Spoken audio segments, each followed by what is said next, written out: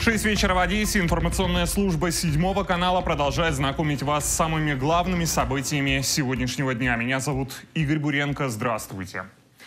Рев сирен, столб дыма, перекрытое движение и оцепленный копами квартал. Таким выдалось начало вторника, 19 сентября, на улице Черняховского. Не доезжая пятой станции Большого Фонтана, напротив торгового центра «Пятый элемент», полыхнула иномарка. Легковушка Nissan загорелась прямо в автомобильном потоке. Месте достала что-то дымить из-под капота. Только я ее забрала со СТО. Все поменяли, масла, фильтра, все обслужили, поставили новый, новый аккумулятор. Вот я еду. Находившаяся за рулем женщина успела вовремя выскочить из пылающего автомобиля. Она не пострадала. Прибывшие на место спасатели оперативно потушили возгорание, но Nissan успел изрядно выгореть. Моторного отсека, по сути, не осталось. В причинах ЧП предстоит разобраться экспертам. А не было хлопка кого-то? Ничего вообще не было. Тишина, просто тишина, она заглохла. Я думаю, что такое. И звоню на СТО, трубку никто не поднял. Хотел спросить, в чем дело, почему машина заглохла. Ничего, на паркинг поставила, сижу, все названиваю. Потом смотрю, стал из-под капота такой тонкий дымок. Ну, все, дальше уже мы стали жужжить. Полиция открыла два уголовных производства по факту столкновения активистов с правоохранителями в Черноморске. Напомню, там вчера суд оправдал два десятка фигурантов по делу 2 мая. Пятерых человек освободили из-под стражи, но двоих сразу же задержали уже по другой статье. Как все было, смотрите в нашем сюжете. Движение автомобилей по улицам перекрыто. С самого утра суд Черноморска окружила полиция и спасатели. Здесь выносят приговор по делу 2 мая. Рядом с зданием суда несколько пожарных машин в полной боевой готовности. Присутствует и скорая помощь. Все другие заседания на этот день отменены. Слушание по делу 2 мая началось на три часа позже назначенного времени. Арестованных по делу суд оправдал. Постановил освободить. По йому винуваченню у вчиненні кримінального правопорушення, передбаченого частиною 2 статті 294 Кримінального кодексу України, визнати невинуватими. Представители прокуратуры с решением не согласны. Будут подавать апелляцию. Прокуратура категорично не згодна з зазначеним вироком суду. І е, ми будемо е, на даний час вже готується апеляція, яка найближчим часом буде подана до апеляційного суду. Патриотические организации тоже не согласны с решением суда. Все это время они дежурили под зданием. После объявления вердикта они пытаются прорваться сквозь окружение правоохранителей. Кто-то бросает петарду. В ход идут шумовые гранаты и слезоточивый газ.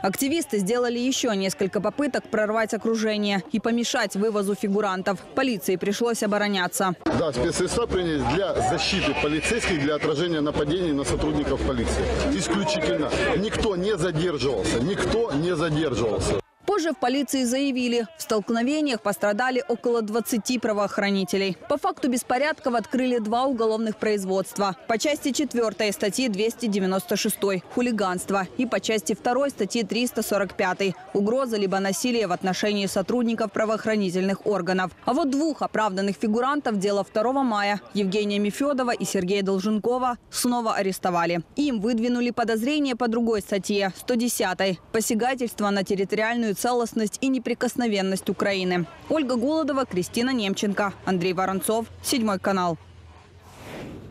Два месяца под стражей без возможности залога избрал Киевский суд в качестве меры пресечения для активистов антимайдана Сергея Долженкова и Евгения Мефедова. Напомню, после оправдательного приговора по делу 2 мая их задержали по подозрению в посягательстве на территориальную целостность Украины.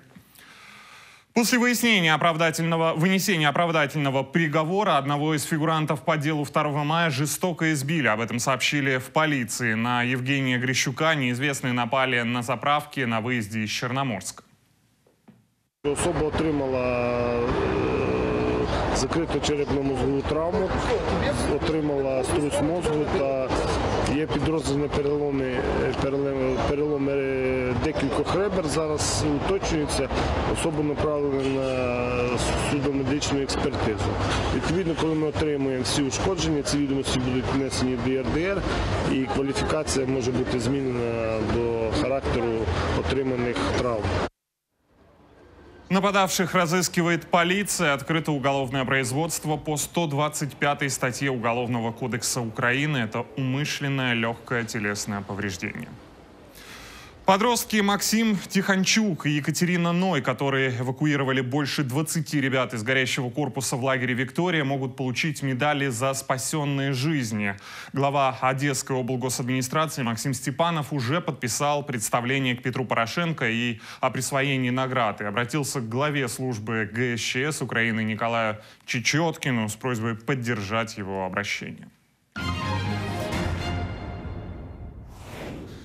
Какие профессии помогут стране развиваться э, разно- разносторонне и приведут бизнес к успеху? Таким вопросом задались разработчики пакета э, пакта ради молодежи 2020. В рамках этой программы во всей, по всей Украине проводятся бизнес-тренинги для молодых людей, которым только предстоит выбрать профессию и в дальнейшем заниматься бизнесом. Главное сделать это правильно. понимать, ту ли карьеру они выбрали, чем они хотели бы заниматься. И, наверное, в этом а, и есть э, а, цель всего этого, чтобы наша молодежь выбирала карьеру осознанно, она понимала, что будущее в этой стране есть. Зараз ми говоримо про освіту протягом життя, про систему неформальної освіти. І цьому, зокрема, сприятиме новий закон про освіту, який нещодавно прийняли. І, власне, підказати молодим людям, яким чином налаштовуватися на роботу в сфері підприємництва. Подобные молодежные бизнес-встречи проходят и в других городах Украины, в Киеве, Харькове, Днепре, Луцке и Кременчуге. Среди главных тем вопрос о том, какие сферы бизнеса нужно развивать в Украине. Многие сферы в Украине уже хорошо развиты. Вы преуспеваете в IT-сфере, в технологиях, в освоении космоса. И это невероятно, потому что не каждая страна на это способна. Мне кажется, Украина может стать весьма успешной. Просто поверьте в себя, и вас ждет прекрасное будущее. В результате, говорят организаторы, эффект ВАУ даст более 10 тысяч рабочих мест и более 300 будущих партнерств. В Одессе собрались 20 лучших учителей Украины. Участники финала всеукраинской премии Global Teacher Prize а, Ukraine. По словам организаторов, главному победителю достанется приз в 100 тысяч гривен и поездка в Дубай на международный образовательный форум. Во всем мире Global Teacher Prize знают как Нобелевскую премию для учителей. Я викладаю іноземні мови англійську та німецьку, і е, відповідно до конкурсу, ось е, йшло анкетування, де я мав розказати про свої принципи виховання, е, принципи викладання, яким чином я зацікавлюю учнів, як я виховую глобальних громадян. І ось ну напевно на базі от якраз цієї анкети були відібрані топ 20 Безумовно, у всіх у них є дуже потужна соціальна складова. Хтось працює з дітками з обмеженими можливостями, хтось е, організовує різноманітні заходи для дітей для того, щоб надихнути їх і показати, що все в в цьому житті можливо. Потрібно лише вірити в свої сили, показує якісь інші горизонти, виводить із зони комфорту. Тобто, це не лише вчитель, який відчитав фізику, розповів про формули, закон Ома або про складнопідрядні чи складносурядні речення. Це щось значно, значно більше. Ботаническому саду Одесского национального университета имени Мечникова исполнилось 150 лет. К юбилею научные деятели со всей Украины собрались, чтобы обсудить вопросы сохранения видов растений в условиях изменения климата. Якщо флора України е, с- е, включає в себе близько 5 тисяч видів рослин, то е, в ботанічних садах і дендропарках України зберігається понад 20 тисяч видів формі рослин. І, звичайно, е, от ця величезна кількість видів, її треба контролювати, відслідковувати, що е, зникає, а що, можливо, враховуючи нові умови, можна залучити для поповнення видового складу флори.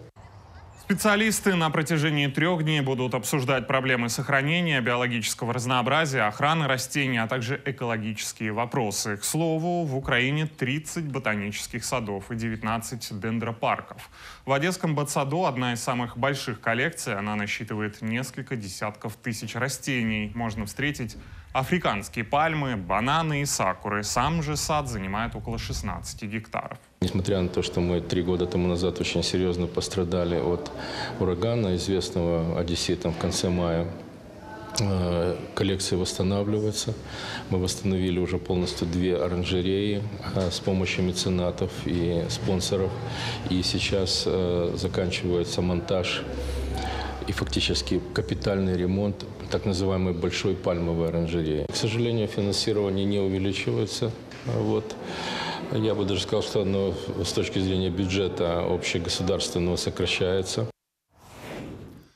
Мобильная связь успела проникнуть почти во все сферы нашей жизни, даже на крышу жилого дома. Именно такая ситуация произошла с жильцами девятиэтажки на Ильфа и Петрова. По их словам, председатель СМД самовольно подписал договор с компанией мобильной связи на установку антенны еще в феврале текущего года. Сами жильцы узнали о строительстве только в августе, хотя о проведении будущих работ были в курсе даже в соседних домах. Когда нам сказали, что он обошел все дома вокруг, где стоят антенны, и всех спросил, но нас ни о чем не спросил, мы начали разбираться с этим вопросом.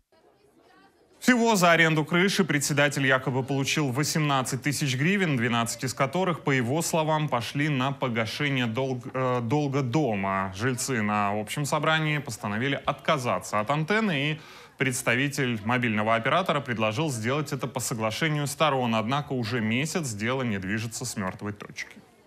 Нам нужны веские причины. Веская причина – это первое.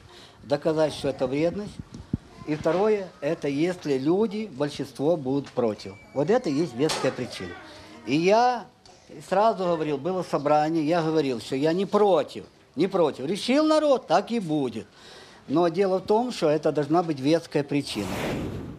На собрании жильцы решили переизбрать председателя, однако, чтобы уладить все вопросы с оператором мобильной связи, жильцам нужно теперь вернуть 18 тысяч гривен. Ну и пока это вся информация. К этому часу информационные итоги дня подведем, как обычно, в 20 в 20.00. Ну а сейчас я передаю слово в передачу «Вечер на седьмом». Моя коллега Саша Корень уже готова рассказать самые свежие новости. Они постоянно мониторят их в режиме онлайн. Саша, тебе слово. Расскажи, что вам удалось узнать вот за последние 20 минут. Спасибо, Игорь. А, Парубей подписал резонансный закон об образовании.